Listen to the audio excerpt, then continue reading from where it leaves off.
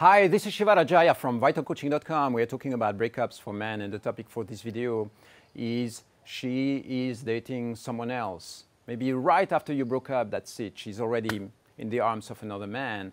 And uh, how do you feel about that? You know, what are the emotions that are coming into your field?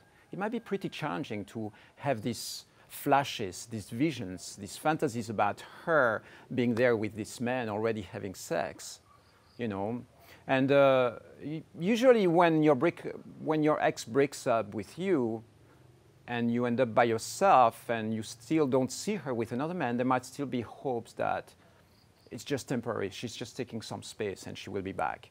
The moment you see her interacting, dating with other men and having sex with them, then that's a totally different story. So it breaks something internally. It's like a different degree of of, of breakup. There is something inside of you that might be crashing and being like, wow, that really hurts.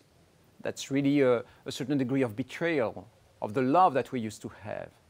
The betrayal of the memory, the betrayal of the, the romantic dream that you still have in your mind about the past relationship. And so, watch out for this challenge. Watch out for this moment where you see her on a date with somebody else. You might be at a social event and then you see her arriving there with another man in her life.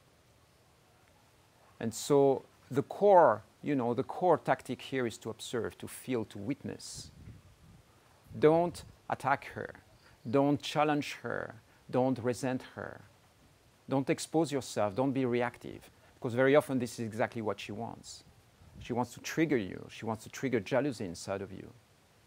And so just let it go. Be cool. Be like, what she does is no longer any of my business. I no longer have the right to control or direct what she's doing because we are no longer a couple.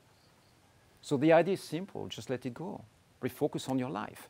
Witness how it feels, you know, in your system to, to feel that connection that she has with somebody else.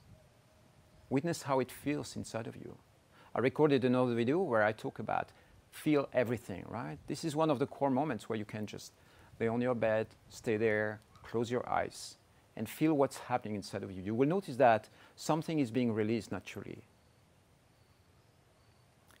And what I want to, to encourage you to do is watch out for that moment because usually this is a key pivoting moment where another degree or another aspect or another depth of your romantic dream with her just collapses.